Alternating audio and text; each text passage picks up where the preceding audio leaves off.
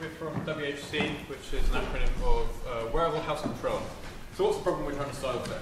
Well, light switches, they're difficult. You've got to go to a place, you've got to find the light switch, you've got to turn it on. Sometimes you don't even know like which light it turns on. It's like, yuck. So the way we decided, well, a lot of people these days have a smartwatch. So why not take all the light switches you have in your house and just put them on your smartwatch? Um, so this is basically our project. Um, now, wearable house coat was a typo, as cool as that sounds in the original like allocation documents, but it kind of sort of stuck with us. We like it. Um, so basically, it's a project based around control of uh, Internet of Things devices. So think smart lights, uh, Spotify, uh, sort of like Amazon Alexa, and we use a wide range of technologies. Um, we've got uh, the Android app is written in Java, um, servers written in Go, and we've got a web interface written in, uh, using React.js, and we even have a little bit of JSON there as well. Um, so our, for to get our sort of uh, app working as uh, neatly as possible, we decided to, rather than just show all of the controls that you have available to you, um, only the controls that are in your current room. So we use indoor location tracking. How do we do this? Well, GPS won't work because GPS needs a direct view of the sky. Even if it has one, it's really not accurate enough. Typically, GPS is around 3 to 10 meters of accuracy. We need around 1. But Wi-Fi is everywhere. So we basically use this thing called Find.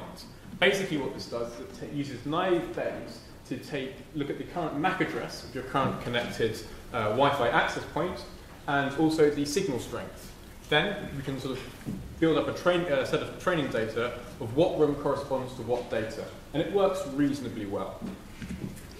So once we had a way of finding out where the user was, we needed to have them control the devices in their home.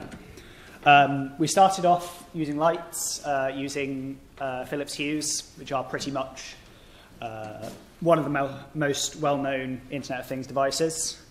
Um, you may have seen our kind of glowing lights in the Intel lab earlier.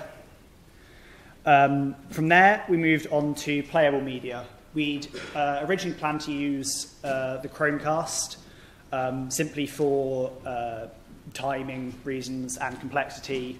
We switched to use Spotify. Again, you may have heard the god-awful disco music uh, in the Intel lab.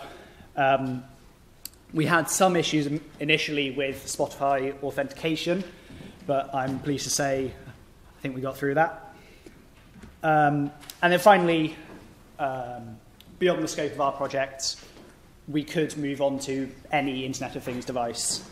Um, obviously, it's quite hard to get hold of smart toilets, smart curtains. We have been told they do exist.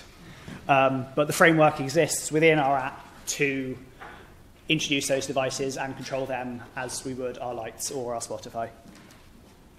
Um, so next we basically wanted to say, well, do we really want the user to have to turn on the switch every single time? So this is where we introduce the idea of an automation. So quite simply, any device action you can think of is automatable. And it's all configured from the web. So, so the user is able to set it up so that if they walk into a particular location, stuff happens to them automatically. This can also save energy. Um, for, instance, for instance, if no one's in a room, why have the lights on? Um, and but you also can have really complex actions as well. For instance, if two people in the bedroom, maybe let's turn the height to a nice pink hue for the right romantic setting. but we do actually have just one more thing. Because we... Uh, two more things. Two more things. So finally, um, we created uh, a couple of apps, um, one for the watch and one for the web, that allow you to both configure and control um, our project. So on the left, we have the web interface um, where you can see all of your connected devices and configure them. So, as Tim said, if you have two people in the bedroom, you can turn the lights pink. Uh, and then on the right, uh, we have the uh, Android Watch app. Um, and using that, we can turn on and off devices, we can control things in other rooms if we want, and then by holding down a particular device's icon, we can bring up more detailed controls, such as setting the color of the lights or pausing and playing music. So now we have just one more thing.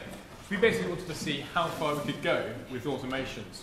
And here, using our JSON script, we've managed to build a one, bit, one full bit adder using automations. basically, if one person is in a room, then um, only light zero will be on. But if two people are, are in the room, then one and zero are, um, are on. Um, so that's our project. Thank you very much for listening. And also thank you to IMC for providing the watching.